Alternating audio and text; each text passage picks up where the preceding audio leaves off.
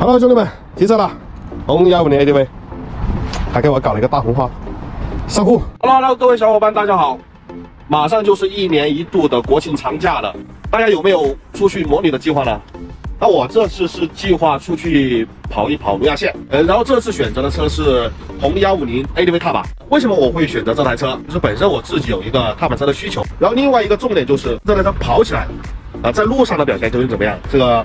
呃，包括配置啊，包括操控啊，包括油耗啊，然后就是说一些实用性的东西，啊，究竟怎么样，也是我这一次想出去呃做这么一个内容。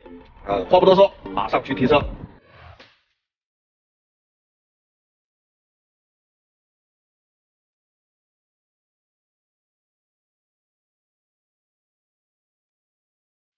那兄弟们，提车了，红幺五零 ADV。扣街重庆有一个特别牛逼的地方，就是什么？它的上牌服务站直接搬到了它的店旁边，然后我刚提车，然后到这儿就可以直接上户。